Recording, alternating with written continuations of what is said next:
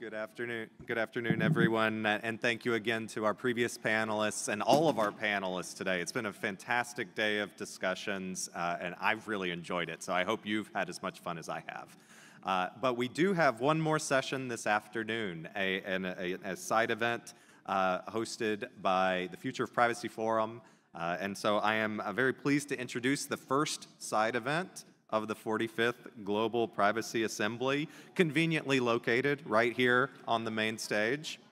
Uh, before I do so, I wanted to make one quick announcement, and that is if you got one of those translation packs downstairs, would you please return it at the end of the day, and you can check out another one tomorrow morning.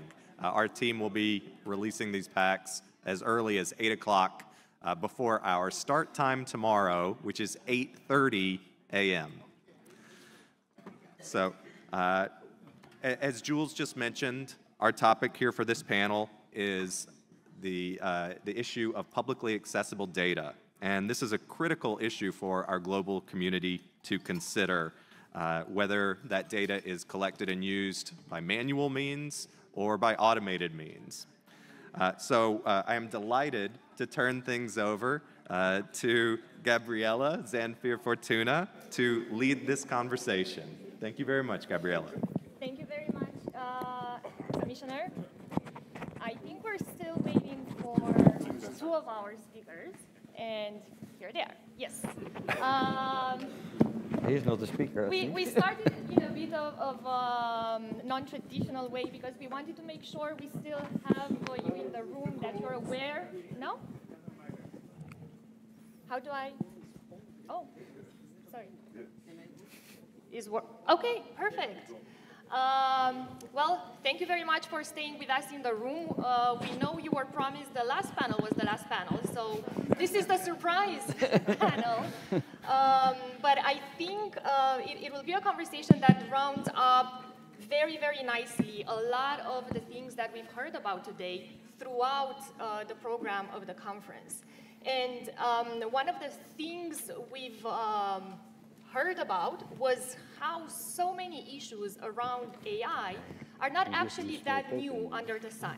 There are um, topics that uh, data protection and privacy, uh, the privacy community has been looking at for sometimes even 50 years now, right? Depending on how uh, we, from when we start the history of data protection law. So it is uh, absolutely my uh, pleasure and honor to bring this uh, extraordinary panel of experts from um, around the world, truly, to discuss one of the key, very specific issue, uh, issues that uh, are so relevant um, in, in, this day and age, and that's uh, the protection of publicly available personal data. We know that it is the source of many of the AI models being trained, uh, and we also know that um, even if it's public, this data is not truly free for all. So please allow me to introduce our panel of speakers. Uh, immediately next to me, we have uh, Tobias uh, Judin, the head of the International Department of the Norwegian Data Protection Authority. Thank you so much for joining us, Toby. Um, then we have Hielke Hijmans, um, who is currently the president of the Litigation Chamber and member executive uh, board of the Belgian Data Protection Authority. Thank you so much for joining us, um, Hielke. Uh, we also have today with us a president commissioner, uh, Blanca um, Lilia Ibarra from the INAI in Mexico. Thank you. Thank you very much for joining us. And um, we have Commissioner Pansy Tlakula from South African uh, Personal uh, Data Protection Authority. Thank you very much for joining us. And then, uh, of course, Jules Polonetsky, um, the Chief Executive Officer of the Future of Privacy Forum and my boss. very important. Um, so uh, we were thinking to start off the conversation by asking uh, the question of what is it truly new about what we are seeing um, today when it comes to uh, publicly available personal data and collecting it from, uh, from uh, the internet? what, what is it um, truly new? Have, have we encountered this same issue when we were dealing with search engines, for example? Um, how did data protection law deal with online search and what lessons can we learn from that? So uh, perhaps, Toby, I will uh, start with you. Okay, okay, that's fair. Am I, am mic'd up? Yes. Okay, that's good, that's good. So I would say that uh, many of the issues we're encountering are not necessarily new. Certainly, the legal framework is not at all new, right? So actually, under most jurisdictions, it appears that publicly available data, publicly accessible data, they are indeed subject to the safeguards of data protection regulation. Um, what is perhaps particularly interesting is that now um, publicly available data being used to train AI models, right? I think that is, that is maybe a new use case. Um, but we have seen for quite some time, as you also referenced, Gabriela, that publicly available data is not open to use as you would please. There are certain uh, safeguards that need to be uh, in place, and you need to have, obviously, a legal basis. Now, what we have been looking at recently in the GPA's International Enforcement Working Group is data scraping, which is the systematic collection of publicly available data for various purposes. And this could be authorized or unauthorized. And you might say that, for example, in, in the case of search engines, um, that is legitimate under certain, uh, let's say, uh, under certain conditions.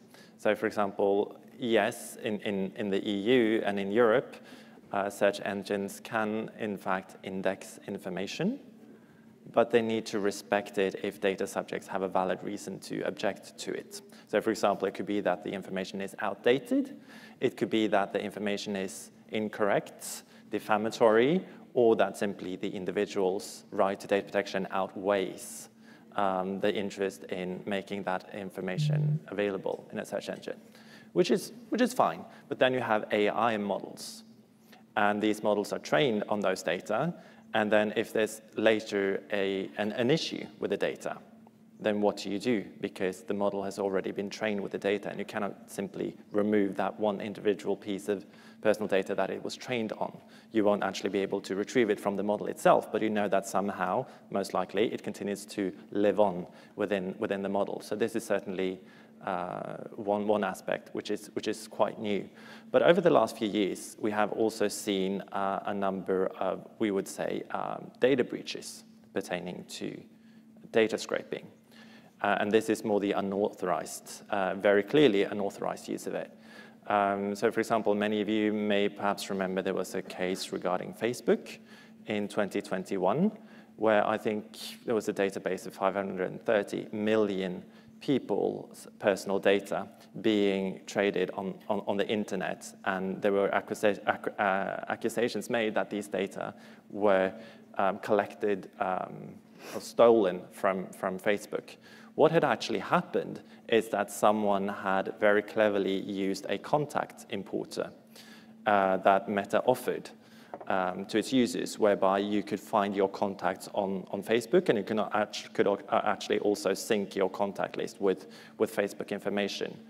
Uh, and what had happened is that some, some people had then kind of used this in order to just upload a number of, a vast uh, number of, of, of, phone numbers to, to Facebook, um, and then getting back the publicly, uh, publicly accessible information from their Facebook profiles. So that could be obviously full name, it could be phone number, it could be other contact details, it could be other uh, pieces of information from, from their profile. And this was being used for very uh, unexpected purposes. And again, you know, this is subject to data protection protection law. So what the International uh, Enforcement Working Group of the GPA did uh, on the 24th of August this year is that we actually issued uh, a, a public statement on this, on data scraping specifically, just pointing out the fact that this is subject to data protection law and you have to have measures in place to prevent, to detect, and to respond to unauthorized data scraping. Um, and this, this was actually also sent to a number of the largest platforms uh, in this sphere. So a, lo a, lot of the big tech companies, and we have actually received responses from them as well, uh, at least most of them, outlining how they are working to specifically uh, prevent, detect, and respond to, to unauthorized data scraping. Thank you so much for, for um, this overview. Uh, oh. Thank you for, uh, for this overview, and I was wondering whether um, anyone uh, else among the panel would like to weigh in. Uh, I know Jules certainly has some thoughts about what is old and what is new in this debate. And, and, uh, but first we will go to uh, Hielke. Well, I don't want to be first uh, if Jules wants to go, but I would say that the use of publicly available uh, information has always been part of data protection law. For, for initially, I think for a good reason, the why reason for me is important because also for publicly available uh, information, there's a need for control by the individual. Uh, when I look back to, this, to the European jurisdiction, the European Court of Justice already 15 years ago had a, had a Finnish case which it dealt with, was, was about the use of taxation data. In, in Finland, taxation data can be, uh, are publicly available, but it's not available to exploit this data by putting it in, a, by making commercial use of this information, because people are not expecting this and should not expect this. The, there, there is a right to be to have certain control over your data, and that means, for instance, that you have that you can expect that data which is available on the internet is not be used for commercial purposes, for whatever purposes at, at all. Second reason, apart from control, and I think that's also looking back to the case law of the Court of Justice, but also more in general, is the aspect of the risks of using publicly information, publicly available information. That's of course enormously much more apparent in, in the time of AI, but also long before we talked about AI, we talked about profiling, for instance. Profiling is, if you think about the reason why people need to be protected or need protection or want protection, at least, is the fact that you don't wish to be profiled on basis of information which is everywhere available. If you look at the case law of the Court of Justice, it's even the main reason why the Court of Justice, in its number of cases in the, in the, in the 2010s, let's say, emphasized constantly that the risk of profiling is the reason why data protection has such a big importance. The right to data protection, the right to privacy. So that's changing, that, that, but that's also not new. Of course, now we come in, an, in a new era, era where we have to deal with AI, with training data, with all the elements which uh, has been uh, uh, alluded by, by Tobias. But I think it's important to keep in mind that what we do is not new, and a discussion about data protection covering publicly available information is not new at all, and it's an important, it's a crucial element of what we are doing, basically starting statement. Thank you so much, uh, Hielke, for, for this comment. And um, you um, brought up uh, the, CJ, the Court of Justice uh, of the EU case from 15 years ago already, hmm. uh, looking at um, how the directive was applying to uh, publicly available personal data. And this reminds me of what we've heard earlier today from Kashmir Hill, about uh, the Clearview AI um, uh, case and, and, how um, image, images scraped online were core to, of, of that. Um, but, but C, we were able, uh, relying on uh, the GDPR in the EU, to um, have decisions of the protection authorities against uh, Clearview AI, and this part of it, uh, the training on publicly available personal data and uh, unlawfulness, uh, the lack of a lawful ground for processing uh, was part of, of that. Um, Jules, did you want to weigh in on the what is old and what is new question when we're looking at publicly available personal data? Well, clearly, a lot of this is already, I'd say, reasonably um, settled case law in jurisdictions that have privacy protections for public data. We've had data brokers who've collected data uh, and uh, used it maybe for anti-fraud, maybe for marketing, and there's case law and restrictions on this. We have the well-known search decision where we've got, you know, uh, uh the ECJ uh, in the end of the day determining that, yes, of course, data protection rights are applicable in terms of deletion and so on and so forth, but that there is a substantial interest for, uh, you know, internet users in their data being used to provide search results. So, uh, and we've got uh, machine learning, which didn't just exist today or yesterday. Um, the databases that have been put together, um, many of them that have been used for the leading LLMs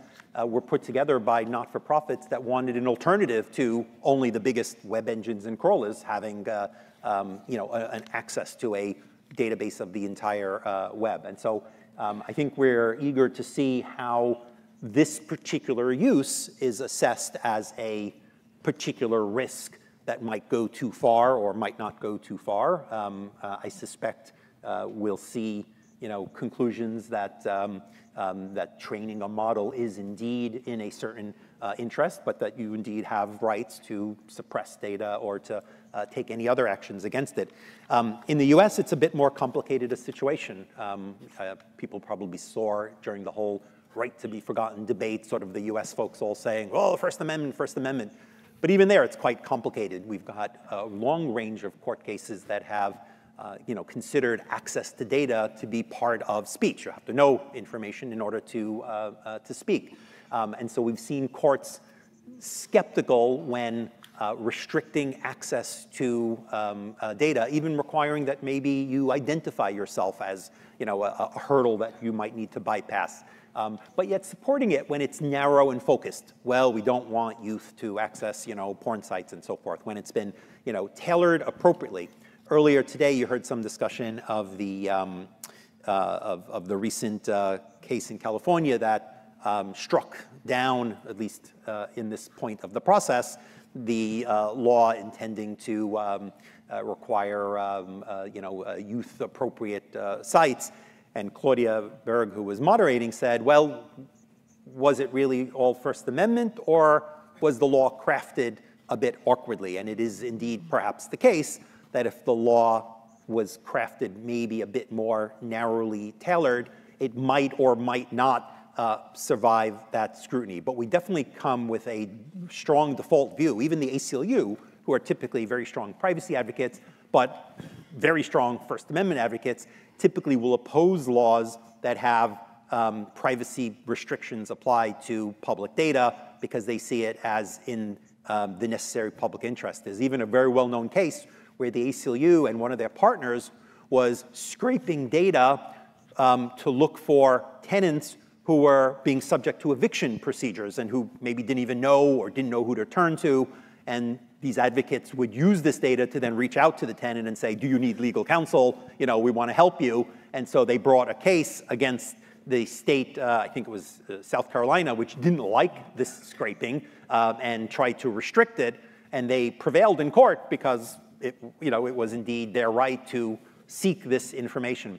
So we've seen the current set of federal proposals and, and some of the state laws try to nuance this. Um, the ones that have tried to be careful uh, have just excluded uh, public data. So many of the state proposals and some of the federal proposals, uh, although they're proposing to provide you know, broad protections for um, uh, uh, data, have very clearly said data that's been made public is excluded because they don't want to get caught by this First Amendment risk.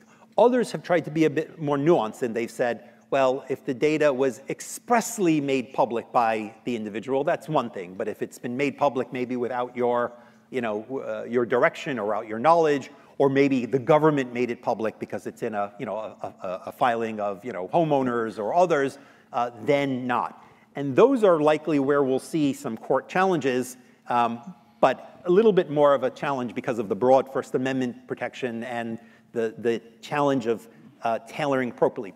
The last thing I'll mention is we had a very prominent Supreme Court case, um, IMS Health, a company that uh, uh, uses um, um, um medical data, um, and particularly had a business model, uh, one of its lines, uh, around um, what kinds of prescriptions do doctors prescribe. So that pharma companies say, well, hey, this doctor never prescribes any of our medicine. Let's go educate them about you know, why they should be aware. And so their database of prescriptions, but not your prescription, but what collectively particular doctors, uh, are they big or small uh, prescribers of certain medications, the court found that a law that targeted that use, that sort of marketing use, um, was too uh, tailored to prevent a certain kind of speech, even though it was sort of a commercial speech, a law that was crafted to say, no, this data could be available, maybe for research or all sorts of other purposes, but not for marketing in this manner was struck down as unconstitutional. So we've got a bit of a, maybe we're a bit of an outlier, although it might be the case that some other jurisdictions, you know, also uh, don't have this particular restriction, but see a strong public interest in the data being available, therefore making it you know, legitimate or, or having other legal basis.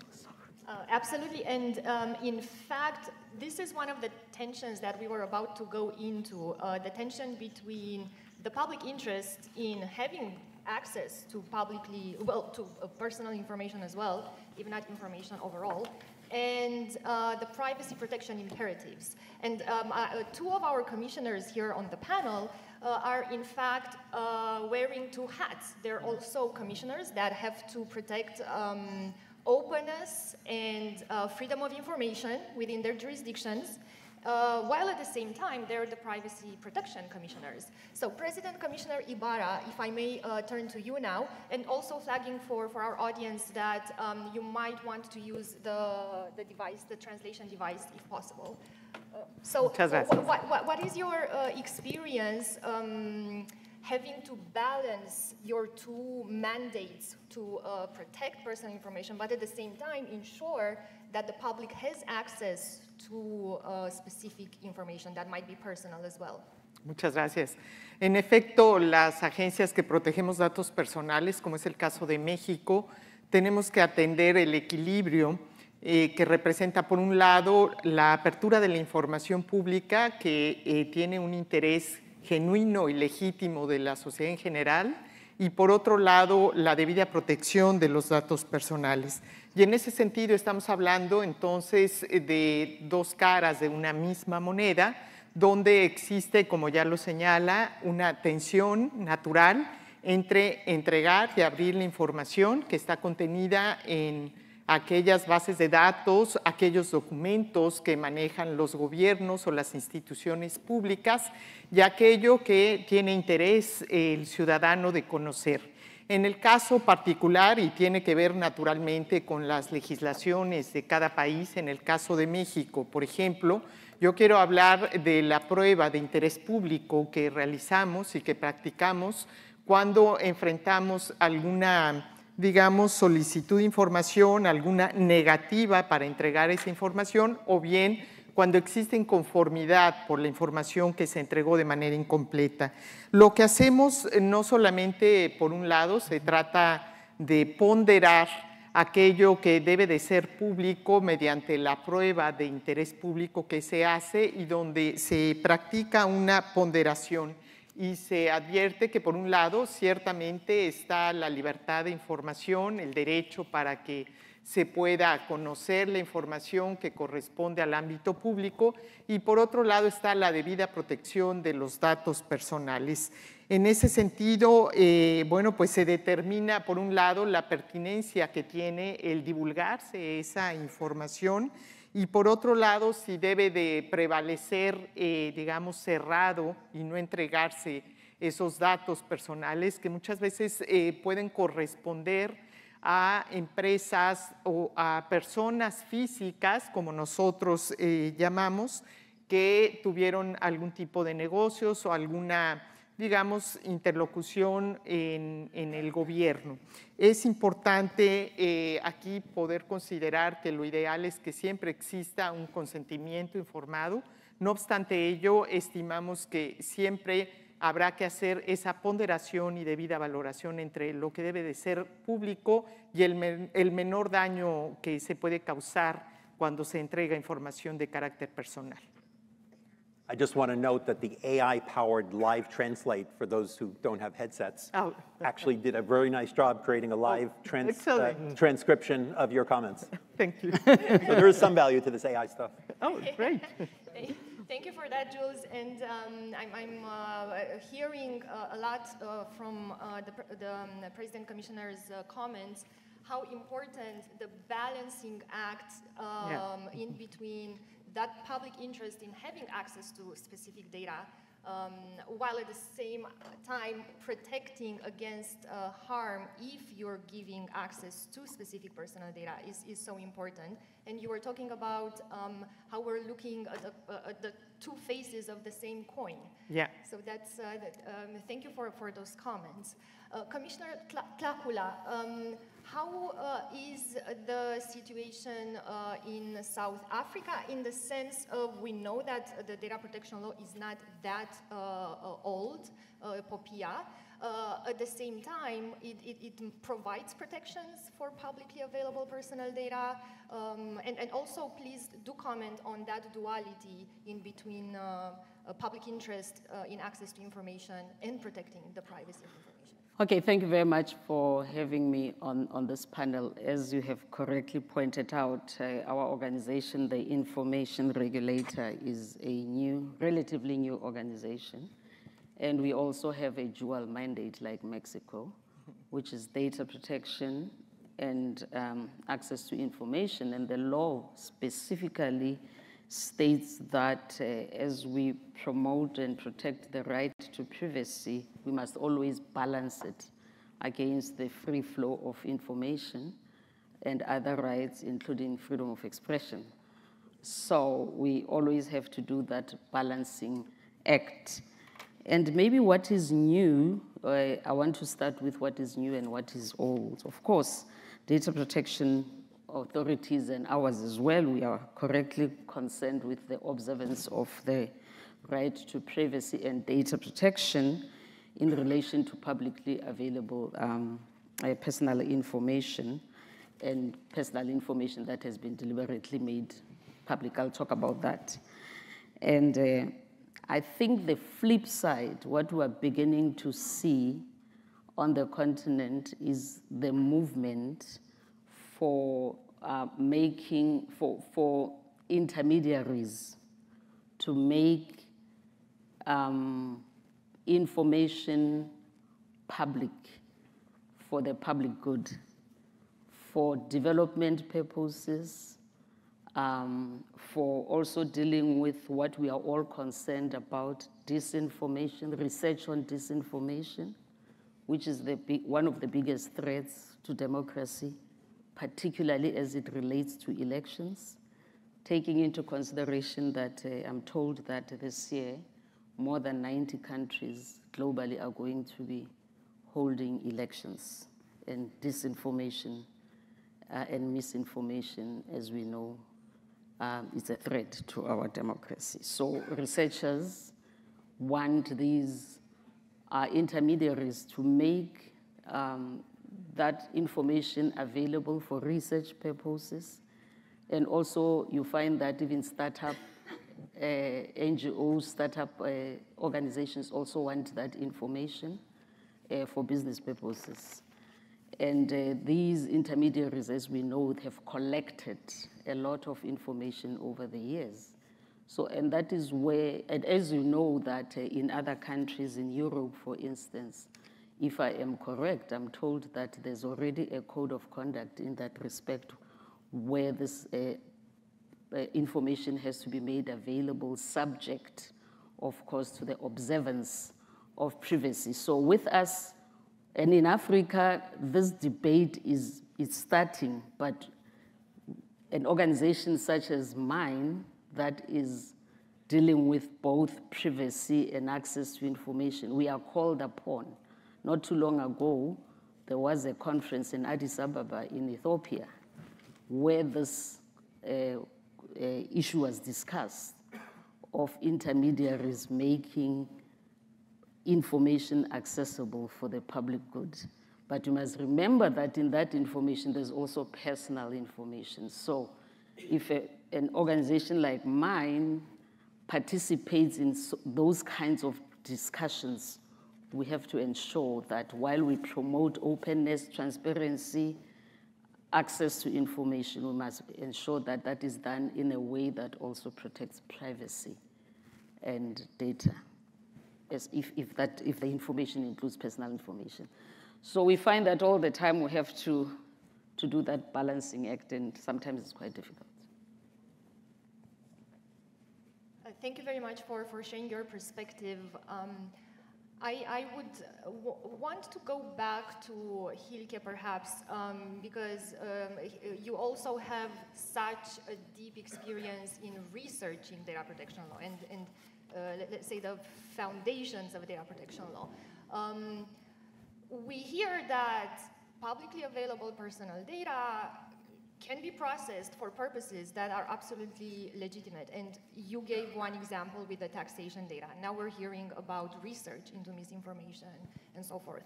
But uh, when we apply purpose limitation, right? So I was wondering whether you can um, tell us what are some of the specific targeted protections uh, in um, the GDPR, in European Union's data protection law. Um, how are we looking at some very specific issues like lawful grounds for processing, um, giving notice to people? Uh, is notice even effective if we're taking the information out uh, of the internet, out from the public domain? Um, any comments? Uh, I know it's a very generous question, uh, but uh, please. I'm happy to improvise, and uh, it's of course an area where I work on for years, so true. When I talked uh, here about public data and personal data and the public good, it reminds me of all discussions we were having with, uh, with uh, medical research, where uh, there are completely different views on this, whether or not at the end of the day your personal data is uh, belongs to you, let's say, so you are supposed to give consent before your data is used for, for medical research. On the other hand, uh, when you work in research, you note that if you want to bring medical research further, you need, uh, you need personal data, you need to have personal information, also in some, some cases about patients. This is a discussion which, at least in, when you talk with specialists in that area, you note how different the feelings are and how emotional the feelings can be. The fact that you as individuals should be able, could be able to stop progress of medical research is something which is for some people very difficult to, to, to swallow, let's say. Whereas on the other hand, uh, we have, uh, yeah, there is the foundation of control, of fairness, etc., foundation that you as individual should be entitled to have a certain limit of control over your personal information is completely different, uh, an opposite uh, uh, argument, an opposite basis. Uh, uh, in the end of the day, we always find solutions for, for anything, and I think there might be situations where, where uh, consent is not necessarily the basis for all further processing. For instance, if it really can, if, if, if this really can very, very well further help to uh, improve medical research. But that would not mean that I would say that probably your personal data is part of the public good as such. Uh, to make a philosophical uh, remark. Stating a bit in this area, a recent case we dealt with, not as fundamental as what I just said, but was, it was a was a case of a website that had scraped uh, data from uh, hospitals, from, from all the med from, from doctors and other, other medical professions, scraped this information and made this into a nice website which made it easier to, to book appointments, etc. They had done this without the consent of the doctors. We got a complaint on this, and then we said, we said, as a medical professional, you may expect that the hospital where you work or the medical institution where you work publishes your, your, your, your specialties and your, your, your skills, but not that a third party does it and makes money from this. So there we said this kind of uh, this website is is fully uh, is is is lawful what they want, but there should be consent, and that was also based on the fact that here the balancing for us was that there is no real need, no real need for uh, for society to make use of this information. You can there's always uh, all other ways possible, and as a as a medical professional, you may expect that uh, you have control of how you how how uh, how you ha have your contacts with, with patients and what how your information is being used. So in that case, we said the protect the right to data protection of the medical professionals prevailed. Just to mention a few things, that's not simply only making money with, with, with publicly available data. The other thing is when you use and enhance the quality of this data, for instance, by on the basis of data scraping, offering certain services, combining information, etc. And then, then of course, the, the story becomes a different one. I don't know if that's an answer to your question. Um, in Europe, we always speak about legitimate interest and the balancing of different interests. Uh, we can talk a lot about it, but uh, maybe in the... Uh, it, it is certainly an answer, an answer to the question. Um, I would like to go to uh, Toby. Perhaps you want to add uh, some, some ideas to this.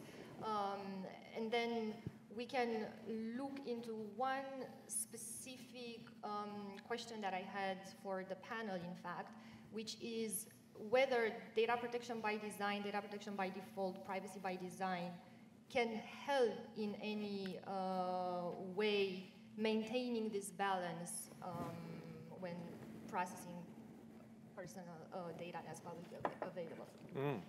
That is a very good question indeed. One thing that strikes me right now is that we're talking about, okay, so you need to balance data protection with transparency for you know, purposes that are in the public good.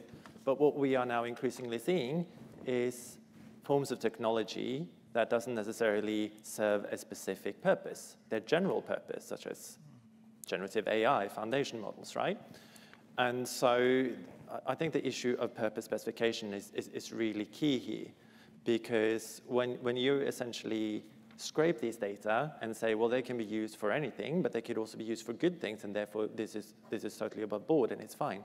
I, I think you encounter some, some fundamental issues because you could also employ it in ways which are very, very bad for individuals. So for example, you could use it in order to orchestrate cyber attacks, you know, phishing, social engineering. You could use it for um, building uh, biometric uh, facial scan databases such as Clearview AI, PimEyes. You could use it for identity fraud. You could use it for a number of purposes. Uh, and I think that the vaguer your purpose is, the more of an issue you have in terms of legally collecting those data. And I also think that if you have a, a high level of data protection, if you're being re very restrictive in terms of how these data can be used, then people are actually more likely to accept transparency because then they trust that the data will only be used for purposes that are acceptable, but also, very importantly, purposes that they can reasonably expect. So again, speaking to the um, combination, unexpected combination of data for, for, for, for, for use cases that are not really envisaged. Uh, I, I, think purpose specification is key here. And, and it shows how data protection can actually aid uh, transparency because data protection essentially increases the level of trust. So, so I, you know, the, the data protection and transparency is not always working against each other. They can actually also be mutually beneficial to one another. And then looking at how data protection by design and default can, can help. You know, you have a, you have a number of services um, that from a business point of view seek to increase engagement. They seek to increase uh, social relations. They seek to uh, just get you essentially addicted and hooked to a service. So everything in these services is kind of designed with that in mind. So that is the purpose. The purpose is not really necessarily, I would argue, to maintain that high level of data protection. Instead, data protection is added at a later stage as more of an afterthought. Or, you know, some compliance officer says, hey, you know, there's some legislation in this jurisdiction. Can we do something to displease the regulators? And that is completely the wrong uh, strategy to take because you can't necessarily fix the issues at that point in time. So for example, in terms of what you can do to prevent data scraping, I mean, so let's say that you're a social media and then you have all of this publicly accessible information that people posted on, on their profile. If you have data protection by design default in mind, it would perhaps to make sense to limit how many profiles a new user can see within the first month, for example. Or you could also have measures in place to monitor, you know, if, if a certain user accesses 10,000 profiles within a day, okay, a, an alarm bell should be ringing because that is not normal user behavior and that is not necessarily user behavior that we want to see. It is suggestive of, you know, bot behavior, for example. You could look at who is accessing the service. Is a large number of requests being made from a certain group of IP addresses? Well, that is also indicative of bot behavior. So from that point of view, if you have data protection in mind when designing the service, you could actually uh, implement measures that can deter and detect these kinds of things. And it is so much easier to do that on, on that level than to respond afterwards and say, well, now we have this massive PR scandal where data originating from our platform is being traded on the dark web, uh, or where we need to engage in, in, in uh, litigation against websites that have scraped our data. I mean, that would just try to kind of, let's say, fix the, the damages caused by the fire rather than to actually prevent a fire from starting in, in the first place. Uh, th thank you for sharing um, this view, uh, but particularly for bringing in very concrete examples and, and possible measures. Um, th that's uh, really appreciated. Um, Pr President Commissioner Ibarra, would you want to weigh in on the question of uh, privacy by design, uh, measures that would be helpful to be implemented to um, protect publicly available personal data? Gracias. Desde luego que sí. Eh, me rescato dos conceptos importantes que se acaban de mencionar. Uno que tiene que ver con la prevención y creo que los temas de, que estamos hablando sobre sistemas eh, del ciclo de vida de los datos personales eh, tienen que advertir no solamente el contexto, la finalidad, y el objetivo para el uso de los datos personales, la naturaleza, los fines del tratamiento de los mismos. Y ahí es donde entra también esa prevención que es necesaria en esta etapa del diseño, de la privacidad por diseño. Rescato también lo que ya refieren de la confianza, porque por un lado, en efecto, se trata de que la información que se abre al público la información que se recaba a partir de datos personales para ayudar en investigaciones médicas, en investigaciones científicas, sea fidedigna, pero al mismo tiempo pueda contener aquella precisión en los datos que puedan llevar a resolver un asunto o a proponer alguna acción específica. Creo que es importante y lo trabajamos en los institutos eh, que tenemos esa misión de proteger datos personales y al mismo tiempo de impulsar la transparencia, no solamente de aplicar el marco normativo vigente, sino también de trabajar sobre distintas medidas con un fin preventivo para evitar el uso indiscriminado y ya se mencionaba justamente eh, el diseño que se debe de trabajar tiene que ver con la minimización de aquella, aquellos datos, es decir, la reducción en la extensión del tratamiento de los datos personales, limitar también los plazos quizá para los cuales están expuestos o la conservación y accesibilidad de los mismos, el consentimiento informado del cual también ya hemos hecho referencia pero eh, consideramos también que conviene hablar de una evaluación del impacto, es decir, aquello que permite analizar cuando se pone al público bases de datos, qué impacto puede tener eh, esa información que se está, digamos, abriendo hacia el público.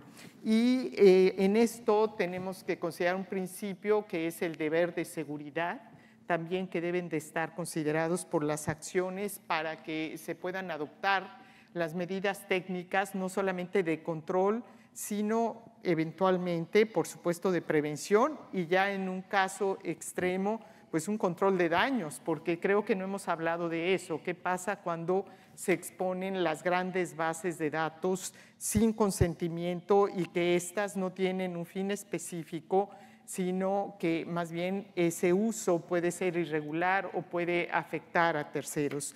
Creo finalmente que es importante que hoy enfoquemos también eh, nuestras agencias en impulsar esquemas de privacidad por diseño, y seguir esos sistemas y procedimientos tanto normativos como preventivos que puedan evitar que cuando se traspasan esas bases de datos fuera de la región, fuera del país, también estén instrumentadas las medidas de seguridad necesarias para evitar la dispersión de los mismos. Thank you very much for highlighting the importance of a precautionary approach uh, and, and for bringing in uh, the, the topic of an impact assessment that can be done before particular databases um, are made uh, public or are made available to the public. Uh, Commissioner Tlakula, would you want to add um, your thoughts about specific measures that organizations can take uh, to prevent perhaps data scraping or to, um, if there are specific privacy by design measures um, that you would see useful in, in uh, these cases? Yes, I think so. I think also if you look at uh, situations like ours, where the legislation is outdated, I mean, it was adopted in 2013, and it has been, I mean, if you look at AI regulation and you look at our legislation, it's probably no longer fit for purpose. But I don't think we can then sit back and say we're waiting for the legislatures to amend the legislation before we deal with innovations like AI. And I think, in my view, that's where privacy by design probably can, you know, apply as a stopgap measure so that any design that is, uh, any innovation or any design should um, have privacy embedded in it. That's the first thing to say. And also, what uh, my sister here has said, to say the second thing is to ensure that a privacy impact assessment is also conducted before any design is uh, actually done and before it is even rolled out. And to apply other principles, you know, of uh, data protection to ensure that uh, principles of minimality, uh, you know, are also applied that you don't um, process more information that you, than you need. Issues of accountability also are also taken into consideration. So I'm saying that in the meantime, because I was listening to the discussion before this, the, the panel before this one, to say our, our laws are outdated, most of us. Uh, but let's, let's use the principles that are there to deal with uh, innovations such as AI as we're waiting for lawmakers to, to amend the laws. Thank you very much for that contribution, which um, highlights just how many common uh, features uh, the, le the legal regimes we, we have been talking about have when looking at these issues. Um, everyone mentioned data minimization, everyone mentioned uh, impact assessments, um, purpose limitation principles to be applied. And, and we, we are looking at countries uh, and jurisdictions literally from uh, all around the world. Uh, before we're opening it up for questions, Jules, do you want to round up uh, with a comment or a, a reflection uh, after the conversation? Well, I feel that the people in this audience are saying, okay, is your conclusion that the current large language models that are getting all this attention and creating this big revolution, many of which were trained on all the data on the internet, um, need to be banned or shut down or assessed in a way that fails uh, the restrictions that were in place. And so um, that may be a challenge for some of the regulators to specifically answer because they've, they've got uh, investigations or cases and so forth. But if I was going through the thinking, I would be saying a few things, right? I would say, well, did they actually seek to avoid personal information in terms of, you know, lists and databases and so forth? And I know a number of them have said that, yes, they, they've, uh, you know, if, if they came across or come across, you know, lists of names, this is not what the language model is trying to learn. Um, okay, clearly there's still a lot of personal information in a blog text on Reddit and Wikipedia and so on and so forth.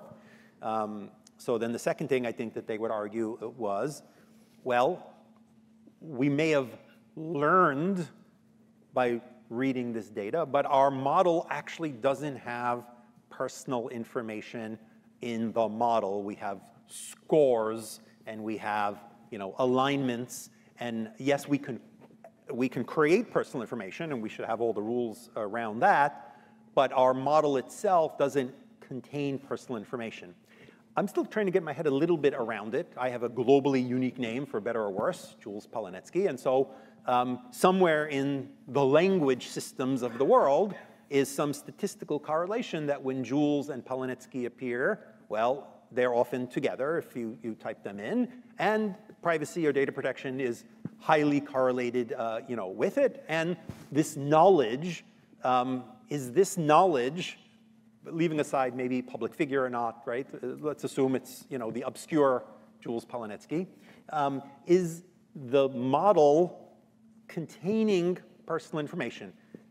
My understanding is that the LLM companies say, no, it's knowledge about words, right? It's proper names, it's proper nouns, it's, it's R, it's the, it's biology, it's Polonetsky. There's a lot of Polonetskys. And so I think it creates this interesting intellectual question about what is personal data because it's, you know, I always assumed a model is just, you know, code, but here you have a score for every word in the universe.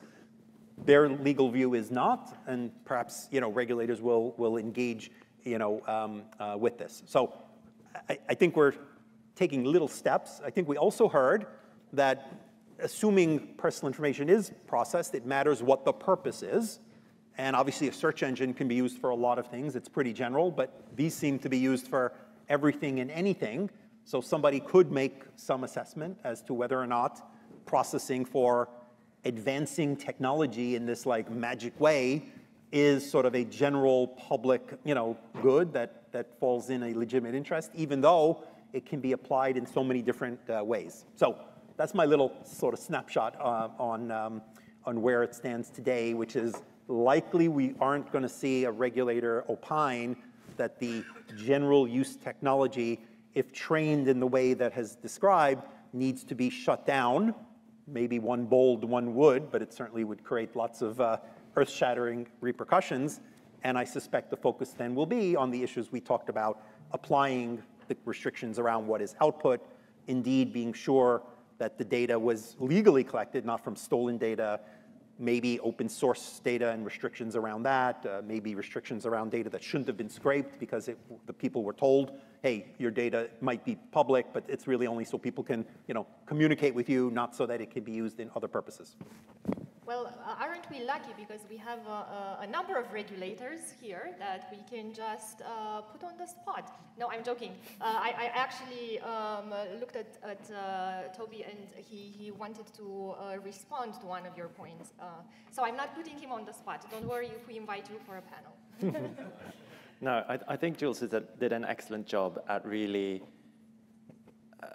explaining what the core issue here is. And it kind of asked the question, didn't you, Jules? Will regulators say that now the model contains personal data and it needs to be deleted and it needs to start anew? Obviously, we don't have right now a clear stance on this, but um, I think there are three words that are very important here, and those three words are model inversion attacks, where you have kind of seen that you can, to a certain extent, regenerate the training data that the model was trained on, right? So that does signify that even though personal data is not stored in a form that we recognize, it is not necessarily the case that the model itself does not contain personal data.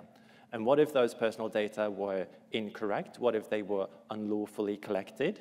A regulator might still say, okay, you need to do whatever is necessary to rectify or delete those data. And if you have then obviously made a design choice whereby, well, you can't do that without completely scrapping the model, I don't think it could be ruled out that someone could be asked to completely scrap their model, right? And, and, and obviously, yes, there would be repercussions to this, but I think that right now, a lot of companies are just trying to be first, just trying to get their model out there, trying to get people addicted to the technology, because the longer, the longer we use the technology, the, the less inclined we will be to kind of say, okay, we, we can live without it for, for a period of time. But I think that the jury is very much still out on this. And from our point of view, we're not ruling anything out. I'm not saying that we would take such a drastic measure, but we're certainly not ruling it out. And just signifies how important it is to actually think before you scrape and not scrape and then think. Think before you scrape, yeah. we are giving here fair opportunity. So uh, if uh, any one of the, the panelists would want to respond to any of these points, I'm very happy to give you the floor. Or we can uh, go to questions from the public. I mean, I'm not responding as such. I, I'm just this this issue of, of data scraping. Um, depending on what you use the information for. If it's a researcher researching for disinformation, huh? um, my point really is that unless these intermediaries make information accessible to researchers, for instance, for people who wants to look at disinformation, data scraping will happen. Or those researchers who want to deal with disinformation, I'm using that because I think disinformation is the biggest threat to our democracy. I have to repeat this and underline it these uh, data scrapers, if I can call it them that, they will go to brokers to get the information. So we need to solve that problem to ensure that these intermediaries make the data available, provided it's publicly available and provided it does not uh, include personal information, or if it does, privacy, uh, they have to ensure that uh, the privacy principles apply to protect personal information it looks to me that that is what is new going forward for, for, from where I come from. Maybe in other parts of the world, these issues have been uh, dealt with. But, but that's why your voice is so important, and this is why we wanted to, to include your voice in the panel, because we want to uh, discuss um, all of these uh, very specific issues uh, around the world. I'm not so sure that the issues you mention are so specific only for your region. I think it's very wise what you say and, very uh, thoughtful. Uh, when I think about this area, it always comes to me about back to what uh, Toby already said, to purpose limitation, or or maybe uh, processing for the public good. And there, I think the main uh, question remains and will never be solved. What is the public good? What is in the public good? Uh, maybe we can ask for a nice policy paper of FPF on this.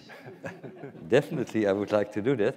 But in the end of the day, we always end up on this discussion. But what is the public good? It, it depends from day to day, from, from area to area. Uh, today I had a discussion on, on, the, on the use of, on, on children's data where the question was whether or not parents should have control over, over, the, uh, over the processing by over the access by their, by their teenagers. Well, those questions we, we don't even have an answer on.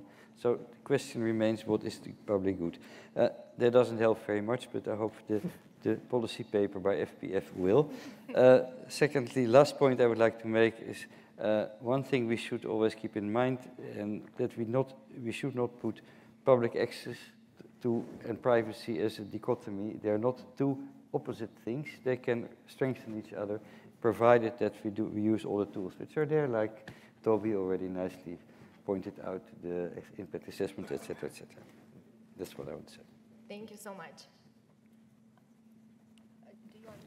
Gracias. Eh, bueno, si me permiten, eh, yo también coincido que no debemos de hacer, eh, digamos, mirar la información pública, lo que buscamos de la transparencia del trabajo en el sector público versus la información que se da a partir de las bases de datos personales que manejan las instituciones públicas. Naturalmente hay un interés legítimo y genuino para crear políticas públicas que se basen en información fidedigna y donde se puede encontrar esa vía para un tratamiento adecuado en el manejo de los datos que se recaban de la población en general. No obstante, sí ese modelo de apertura de la información no puede dejar de lado el respeto a otro derecho humano que es el de proteger los datos personales de la población. Y es ahí donde, envueltos en ese mar de desinformación que ya refería eh, nuestra amiga, es donde tenemos que encontrar cuáles son las mejores estrategias tecnológicas también, no solamente el marco legal y normativo que se establece en nuestras regiones, sino la forma en que tiene que haber, digamos, un blindaje específico en aquello que traspasa eh, esa línea de lo público y lo privado. Yo creo que eh, hay muchos retos por delante porque va más rápida la tecnología, los avances que vivimos y la inteligencia artificial, como también está invadiendo ese espacio de acción personal, interno, privado, y donde quedan entonces también otros principios de integridad, de ética en el manejo de los datos, en las nuevas tecnologías y en aquello que ciertamente tiene un fin político, comercial, económico, que no necesariamente va de la mano con lo que requiere una sociedad en general. Entonces, hay que analizar cuál es el, el, bien público, cuál es el bien social, cuál es el beneficio directo para la población y establecer aquellos mecanismos normativos, pero también aquellos sistemas electrónicos que blinden el espacio privado de la gente. Uh, thank you so much for, for that comment. Uh, that rounds up our conversation uh, quite well and outlines the complexity of thinking about these issues, both with uh, organizational technical measures, not only uh, solutions that we find in, in the legislation. Um, so thank you for that. Now we do have time for um, a couple of questions, if there are questions in the public. And yes, I see questions. I'm very excited about that. Uh, there are three questions. Many. Um, I, I, yeah, thank you. And if you could just introduce yourself um, before the question. Sure, Ben Rapp from Securys. this is uh, directed, and I'm very grateful that you're here, to Ms. Tlakula. Uh, we have a big practice across Southern Africa, and one of the things that we find difficult is reconciling the inclusion in personal data in POPIA of data relating to juristic persons.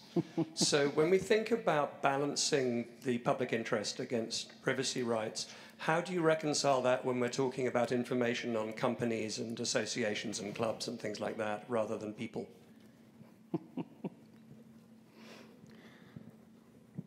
Should I, I, am laughing because we are grappling with that uh, protection of personal information of, of juristic persons. And no, I just want to be upfront that not being the lawmaker, um, I'm not sure what informed that, but to be just upfront with you is that that matter we are still grappling with and we have not even come to it yet as a new organization. Thank you. Um, I, I, think for the, for the benefit of those who, who, who, sorry, who are not from South Africa, who are not familiar with our legal framework, um, our law protects personal information held by also personal information of juristic persons, which is companies, which is unique, I think, in many respects.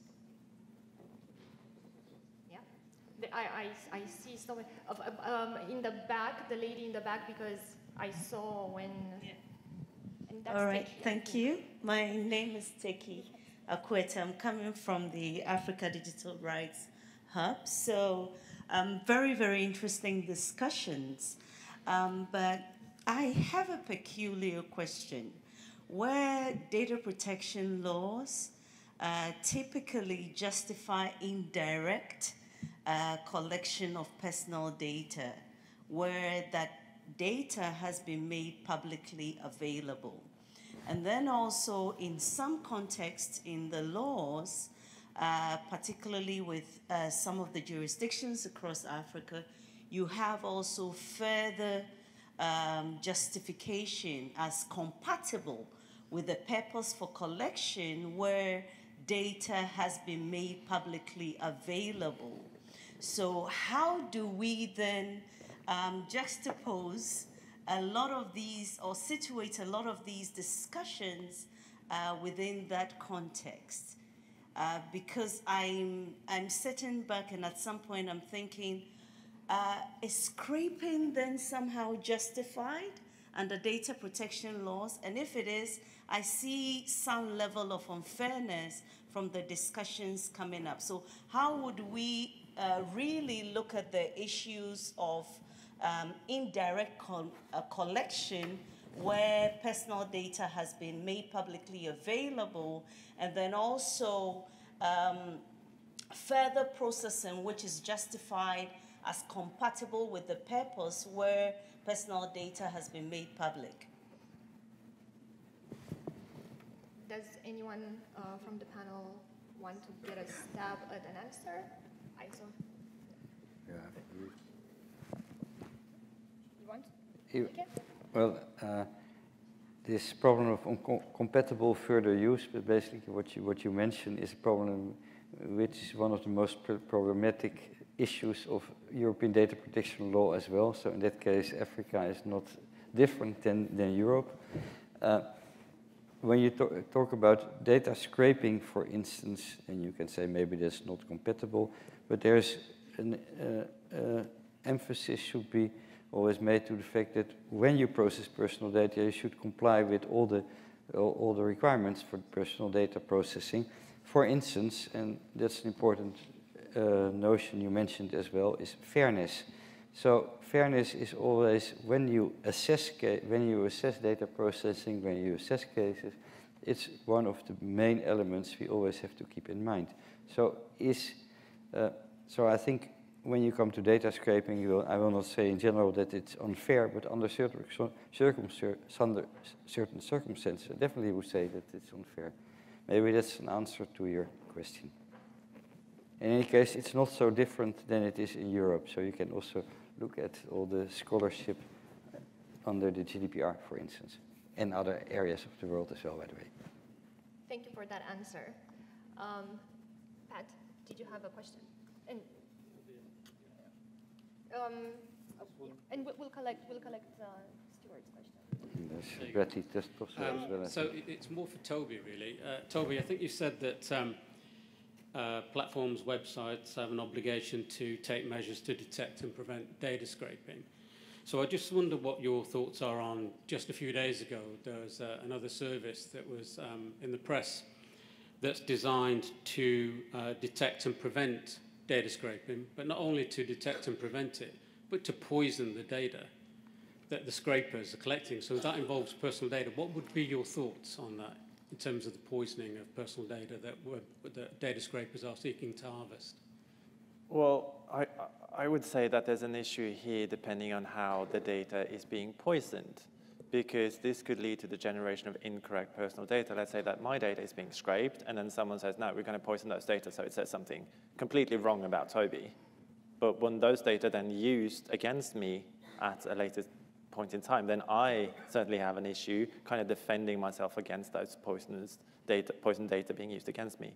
So I don't think that is necessarily an ideal uh, solution in all cases. But if you're talking about not necessarily poisoning, but a, but a way to make the data not being identifiable, then that could certainly be uh, a way to move forward. So it kind of depends on what specific techniques you use in that regard. Just, that is my initial reaction. Thank you for that. Stewart? Stewart Dresner from Privacy Laws of Business. Thank you.